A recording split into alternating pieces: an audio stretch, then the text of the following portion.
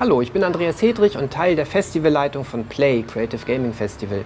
Ich versuche die Fäden in der Hand zu behalten, vor allen Dingen was die finanzielle Abwicklung des Festivals angeht, aber auch Kontakt zu den Partnern zu halten, zu den vielen Unterstützern und äh, Kooperationspartnern, die dieses Festival dieses Jahr hat und äh, habe mich darum gekümmert, dass es diese vielen tollen Orte gibt, die dieses Jahr das Festival beherbergen.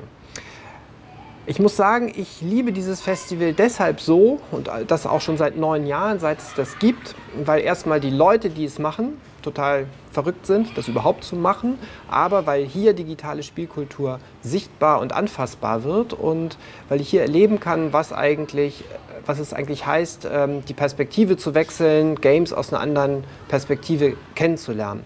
Und ich liebe das Publikum, die Menschen, die sich genau damit auseinandersetzen und auseinandersetzen wollen. Und ich freue mich auf viele weitere Jahre Play.